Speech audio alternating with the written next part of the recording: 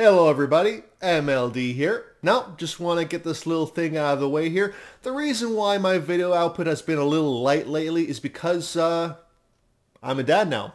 It's been a couple weeks. Uh, little girl, she's great, getting used to all the new patterns and rhythms of it all now. Know, things are the same, but they're also different in a lot of ways. A lot less sleep. So uh, now that we're getting used to the patterns now, I, I think uh, my output will be a little more often now. So that said, I'm covering two things with this video. So I'll do the timestamps in the description if you only want to hear one thing, not the other. First will be the Halo Infinite multiplayer beta. I, I tried it. These are my impressions. And the second half will be about the Perfect Dark Crystal Dynamic update if you uh, haven't heard about that yet. So, Halo. I put a good few hours into that at least, and I am blown away. Like this, I never had this much fun with a Halo game since Halo 3. Not that the other games weren't fun. They were all fun in their own right. But it just really recaptured that magic of when I was just a teenager playing Halo 3 and all the multiplayer and having so much fun. Because I, they finally did it.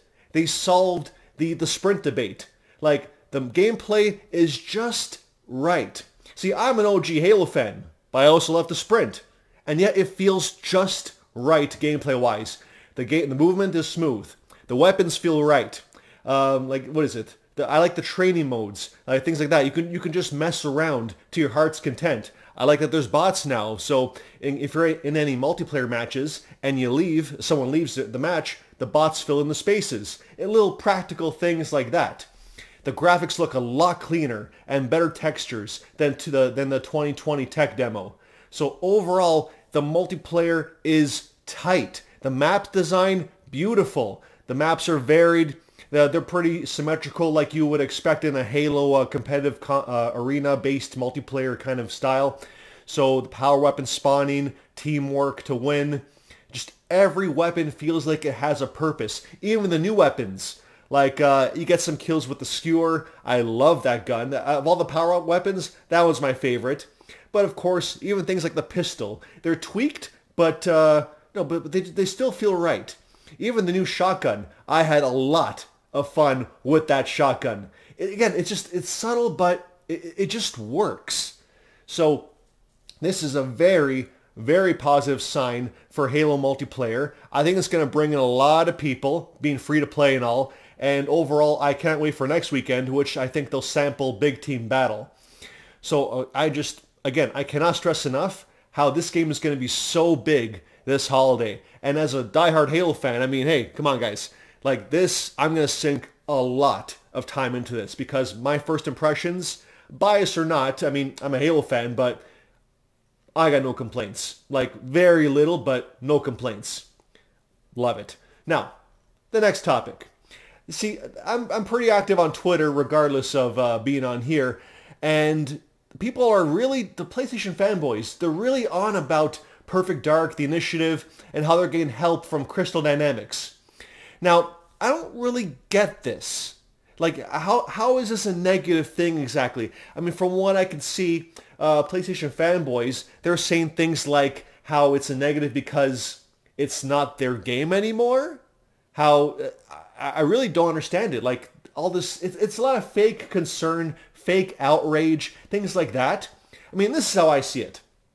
The Initiative, they're a new studio.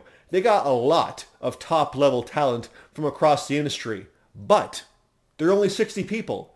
How do you expect to make Perfect Dark a AAA game with only 60 people in a timely manner? You can't. The studio's already been around for, for about, what, three years now, and clearly they need that extra grunt work to get this game going, to get it, to get it off the ground. So is this unusual?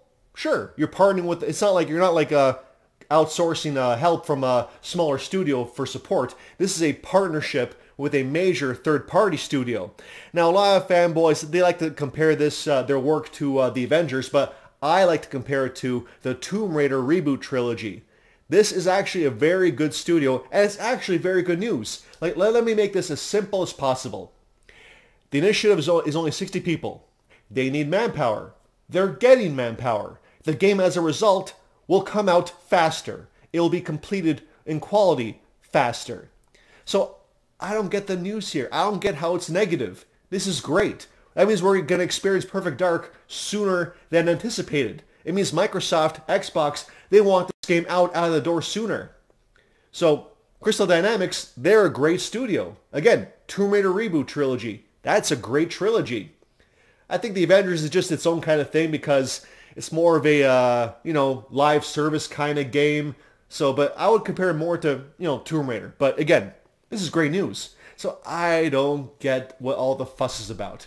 So overall, I just want to get those two off my chest. But overall, it's Xbox is in a great position and will dominate the holiday scene. So that's it.